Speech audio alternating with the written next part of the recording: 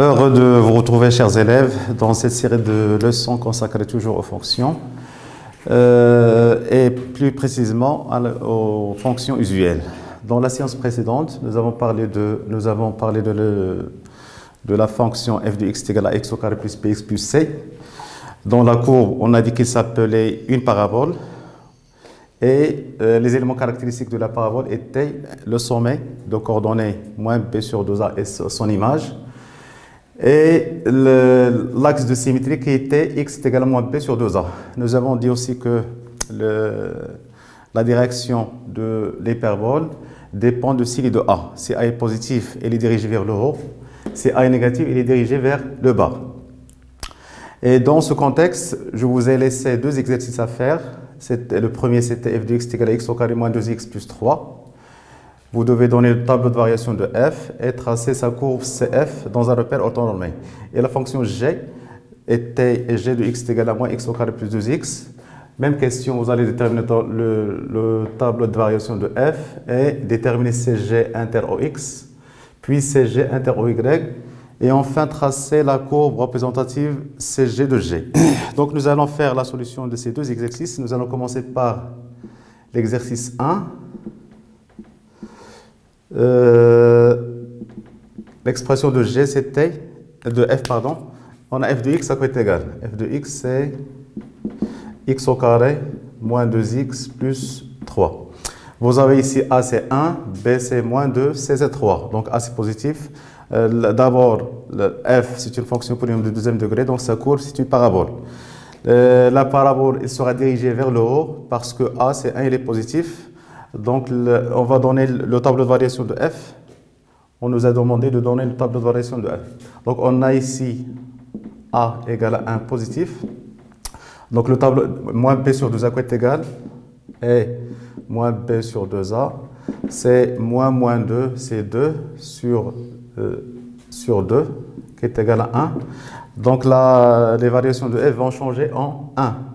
Donc, si on veut dresser le tableau de variation de la fonction f. Tableau de variation de f. Donc la fonction est définie sur R, c'est une fonction polynôme. On a dit que les variations changent en 1. Il est défini sur R qui est moins l'infini plus l'infini.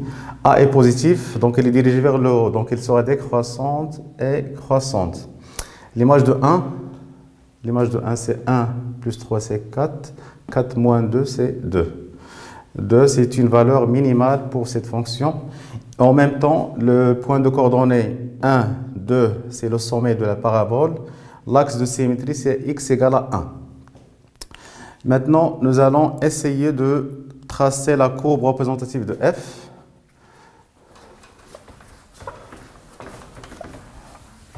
On a dit CF, c'est une parabole.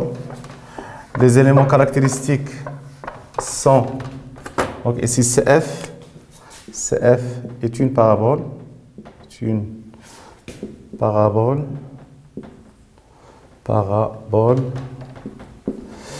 Euh, les éléments caractéristiques, les éléments caractéristiques. Sont le sommet, c'est le point de coordonnée 1 euh, l'axe de symétrie, c'est la droite d'équation x égale à 1. Avec ces deux notions, nous allons essayer de tracer la courbe représentative de la fonction f. Donc nous allons tracer le repère d'abord et ensuite en se basant sur les éléments caractéristiques de la fonction f, nous allons tracer, euh, de, la, courbe CF, nous allons tracer CF.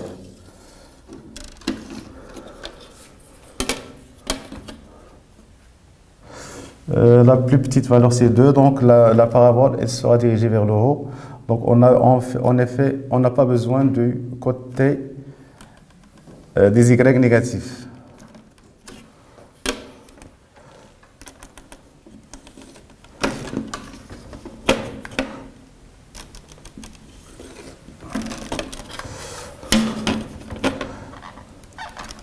Euh, la plus petite valeur, c'est 2.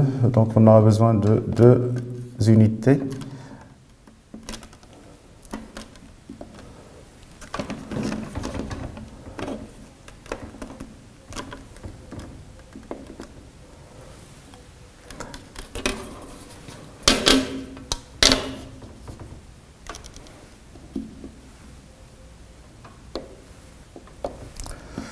Donc l'image de 1, c'est 2. Ça, c'est le sommet de euh, la parabole, c'est 1, 2. Euh, l'axe de symétrie, c'est la droite d'équation x égale à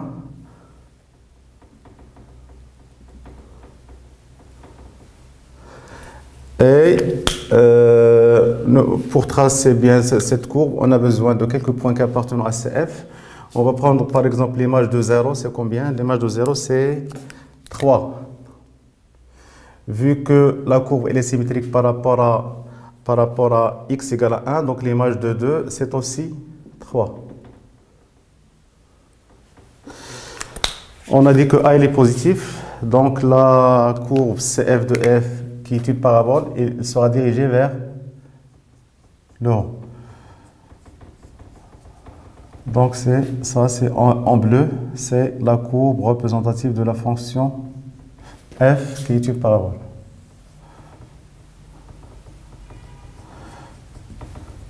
Donc ça, c'est la courbe CF de f. Donc on a dit à retenir, on a I positif, donc la courbe, elle est dirigée vers le haut. Les, éléments caractéristiques sont 1 et 2, qui sont les coordonnées du sommeil. L'axe de symétrie, c'est la droite d'équation x égale à 1. Donc cette droite, en fait, c'est qui passe par le sommet a pour équation x égale à 1. Ça concernant le premier exemple. Le deuxième, vous avez l'expression de la fonction g, c'est 2x moins x carré euh, plus 2. Là, vous, voyez que a est négatif. Donc l'expression de G, c'est une équation, c'est un polynôme de deuxième degré. A négatif, courbe, c'est une parabole. A est négatif, donc il sera dirigé vers le bas. Donc exercice 2. Quelle est l'expression de G? Vous avez G de x à quoi est égal? G de x, c'est moins x carré plus 2x.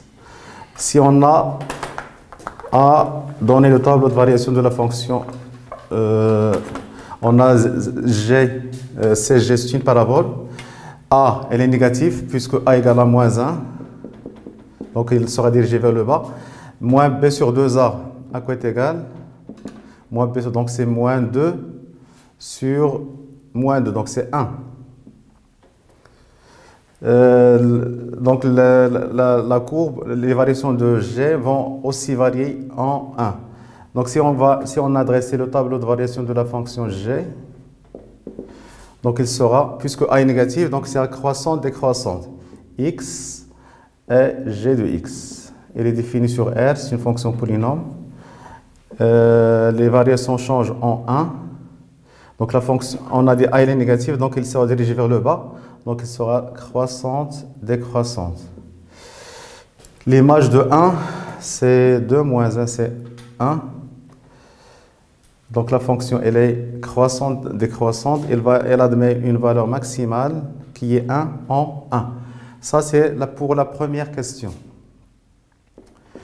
La deuxième question, on vous a demandé de déterminer CG inter OX et puis CG inter OY. Euh, pour déterminer CG inter OX, euh, tout le monde le sait, j'espère, vous devez résoudre l'équation f de x égale à 0. Et pour déterminer CG inter OY, vous devez calculer l'image de 0. Donc, pour la deuxième question, si on a à déterminer CG inter OX, qu'est-ce qu'on fait? On résout, on résout l'équation g de x égale à 0. Euh, dans notre cas, à quoi est égal g de x? On a g de x égale à 0, signifie que moins x carré plus 2x égale à 0. C'est une équation de deuxième degré. Euh, pour la résoudre, vous, soit que vous calculez delta, mais dans notre cas, on n'a pas besoin de calculer delta, il suffit de euh, factoriser par x, c'est x facteur de moins x plus 2 égale à 0, ça veut dire que x égale à 0 ou x égale à 2. Donc, quels sont les points d'intersection de CG avec l'axe des abscisses? C'est le point de coordonnées 0 euh, d'image 0 et le point d'abscisse 2 et d'ordonnée de, 0. Euh, Donc CG inter OX, il sera formé de deux points. Le premier, c'est le point de coordonnées 0, 0. Le deuxième, on va l'appeler euh, B, par exemple, c'est 2, 0. Euh, ça, c'est pour l'intersection de CG avec OX. Maintenant, CG inter OY. Pour le faire, on, calcule, on calcule G de 0. Dans notre cas G de 0, on a G de 0 égale à 0. Donc le point d'intersection de CG avec l'axe des Y, la désordonnée, c'est l'origine. C'est le point de coordonnées 0, 0. Donc CG, CG inter OY, c'est le point O de coordonnées 0, 0. Donc la courbe CG, en fait, elle coupe l'axe des abscisses et l'axe des, Y, on a un point commun qui est l'origine. Maintenant, nous allons essayer de tracer la courbe CG de G dans un repère orthonormé. Donc nous allons reprendre le même repère. On va effacer la courbe de F pour gagner du temps. Et nous allons tracer la courbe CG de G.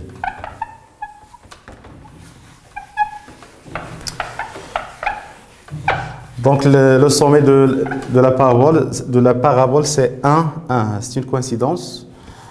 Euh, mais tout à l'heure, vous avez 1, 2. Cette fois-ci, c'est 1, 1. Donc le sommet de la parabole, c'est 1, 1.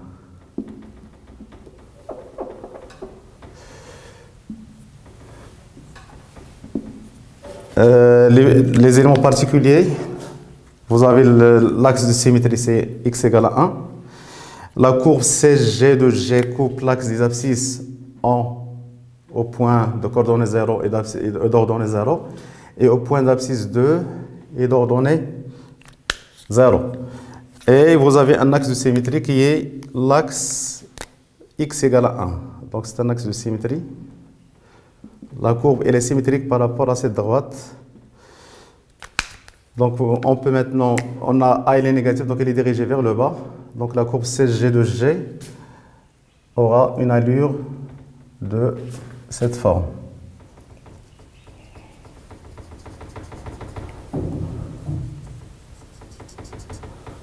Donc il, faut à chaque fois que la distance entre le, côté droit de la courbe et le côté gauche de la courbe, le, côté gauche de la courbe soit égal. Même distance. C'est l'axe de symétrie d'équation x égale à 1. Donc c'est ça, c'est la courbe CG de G. Donc à retenir, si vous, avez, à tracer une parabole, vous devez d'abord connaître le signe de A. Si A est positif, donc il sera dirigé vers le haut. Si A est négatif, vers le bas. Euh, l'axe de symétrie, c'est X est également P sur 2A. Le sommet de la parabole, c'est le point de coordonnée moins P sur 2A et son image.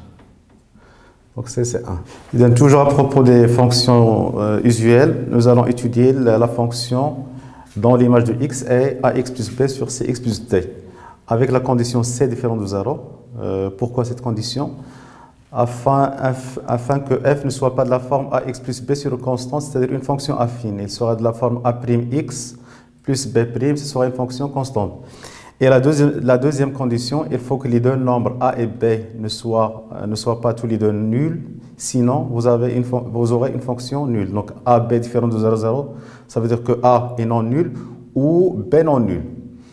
Euh, dans un premier cas, nous allons étudier la fonction, l'image de x, c'est A sur x avec A différent de 0. Avant d'aborder ce genre de fonction, vous avez une, activité à faire. soit A un nombre réel non nul, f la fonction numérique définie par f de x est égal à a sur x avec a différent de 0. Euh, la, première, la première question, vous allez déterminer le domaine de définition de f.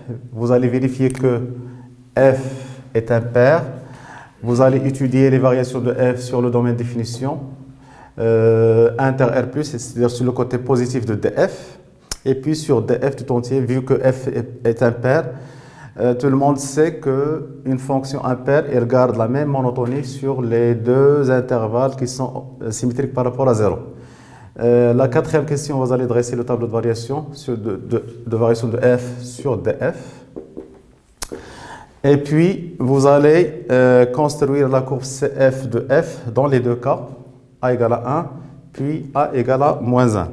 Et à partir de cette activité, nous allons euh, prendre le cas général de la fonction f de x est égal à a sur x. Et donc, la première chose que nous allons faire, c'est de répondre d'abord aux questions euh, données dans l'activité. Donc la première question, c'est quoi? La première question, c'est le domaine de définition de cette fonction. Quelle est l'expression de f? On a dit que f de x, c'est A sur X. Euh, le domaine de définition, vous avez une variable X au dénominateur, donc il faut qu'il ne soit pas nul. Donc le domaine de définition de F, c'est R moins 0, c'est-à-dire R étoile, sous forme d'intervalle, c'est moins l'infini 0, union 0 plus l'infini. La deuxième question, la parité de la fonction. Donc la, première, la première condition, elle est vérifiée. Rappelez-vous, on a dit que pour, qu'une fonction soit paire ou impaire, la, la, première chose, il faut que le domaine de définition soit symétrique par rapport à 0. Donc d'après l'écriture de df sous forme d'union d'intervalle, tout le monde voit que la première condition elle est vérifiée, c'est-à-dire la symétrie du domaine de définition par rapport à 0. La deuxième, on va calculer f de moins x. Quoi est égal f de moins x C'est a sur moins x est égal à moins a sur x. Et là, c'est moins f de x. Donc, quel que soit x appartient de f, moins x appartient de f. Et euh, f de moins x est égal à moins f de x. Donc, la fonction, elle est impaire. Donc, f est impaire. Donc, pour étudier les variations de f, il suffit de les étudier sur le, côté positif de df. Dans notre cas, c'est 0 plus l'infini. Puisqu'elle est impaire, elle aura les mêmes variations sur l'intervalle moins l'infini a. Donc, pour euh, étudier les variations de f, vous avez deux choses pour le faire. Soit que vous prenez deux éléments x1, x2, tels que x1 inférieur à x2, et euh, comparer les images, ou bien on va faire appel au au taux de variation. Donc, nous allons étudier les variations de f, 3. Donc, on va prendre soit x1, x2, deux éléments de df inter r plus le tout au carré, avec la condition x1 différent de x2. Euh, le taux de variation t, c'est quoi? C'est f de x1 moins f de x2 sur x1 moins x2 côté f de x1, c'est a sur x1 moins a sur x2, le tout sur x1 moins x2. Donc on va réduire au même dénominateur, donc c'est a facteur 2 x2 moins x1 sur, on va réduire au même dénominateur, donc c'est ax2 moins ax1, on a factorisé par a, sur euh, x1 fois x2, facteur de x1 moins x2. Donc, euh, qu'est-ce qu'on a fait? On a réduit au même dénominateur, nous, avons euh, utilisé la relation A sur B, le tout sur C, c'est A sur BC. A sur BC. Donc, vous avez le x, numérateur x2 moins x1, au dénominateur x1 moins x2. Donc, on va simplifier par x1 moins x2. Et t devient quoi? Donc t, après avoir simplifié par x2 moins x1, donc on aura moins a sur euh, x1, x2. Euh, sans doute, vous avez remarqué que x2 moins x1 et x1 moins x2 sont opposés. Donc, si on simplifie par x1 moins x2, il va nous rester un signe moins à côté de a. Euh, donc, si on a pris x1, x2 sont deux nombres qui sont positifs, donc le produit x1, x2 il est positif, donc le signe de t, il va dépendre du signe de moins a. Si a est positif, t sera négatif, et si a est négatif, t sera positif. Donc, premier, le, signe de t, le signe de t dépend du signe le signe de moins A. donc, donc, on va considérer deux cas. Le cas A ou positif, donc premier cas, A positif. Donc si A est positif, donc T sera négatif. Donc la fonction sur l'intervalle 0 plus l'infini, on est en train de travailler sur l'intervalle 0 plus l'infini. La fonction elle sera décroissante. Et si A est négatif,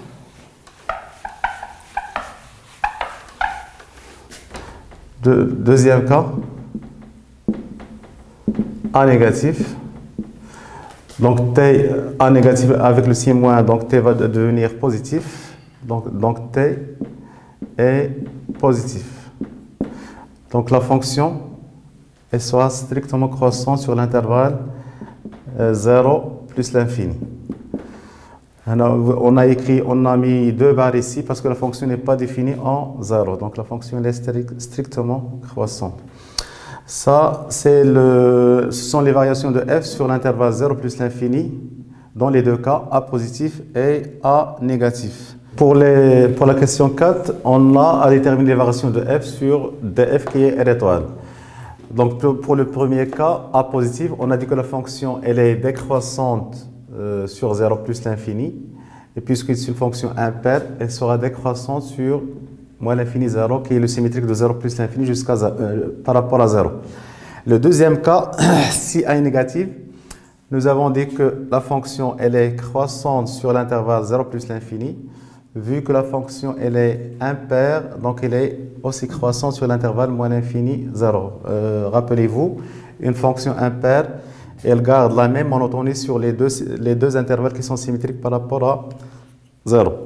Euh, pour, la, cinquième question, vous avez à tracer la courbe CF de f dans deux cas. Le premier cas a égale à 1, c'est-à-dire f de x va devenir 1 sur x, on a remplacé a par 1.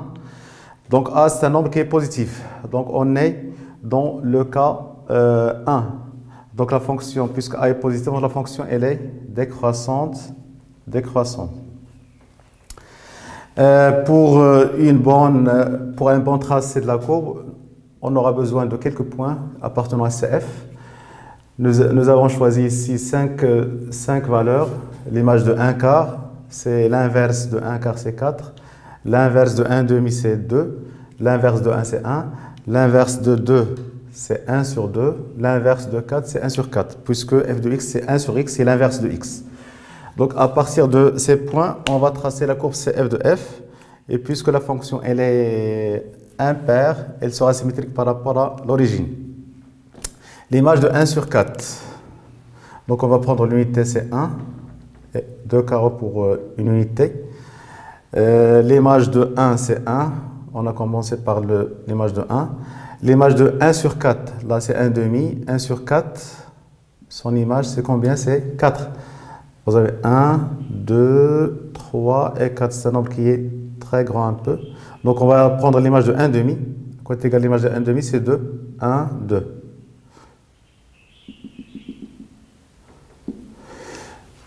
L'image de 2, vous avez 1 et là c'est 2. L'image de 2 c'est 1 demi. Et l'image de 4, 1, 2, 3 et 4. L'image de 4 c'est combien? C'est 1 sur 4. 1, 1 demi. Le 1 quart c'est là. Donc la courbe CF de F, elle va passer par ces points. Tout le monde voit que l'image de 0 n'existe pas parce que 1 sur 0 euh, n'existe pas. Et la, solution de l'équation f de x égale à 0, si vous avez à, si vous avez à résoudre l'équation 1 sur x égale à 0, ce sera une, équation qui est impossible. Euh, graphiquement, ça veut dire que la courbe CF de f ne va pas couper l'axe des y et il ne va pas couper l'axe des x. Donc si on, va, si on veut tracer la courbe CF de f, on va joindre ces points. Euh, rappelez-vous, l'image de 1 sur 4, c'était 4.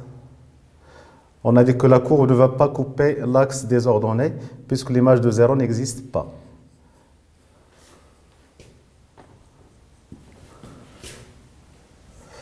Et il ne va pas couper l'axe des x, puisque l'équation f de x égale à 0 n'a pas de solution.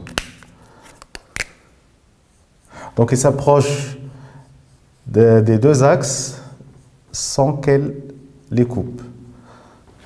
Ça, c'est le côté positif de CF.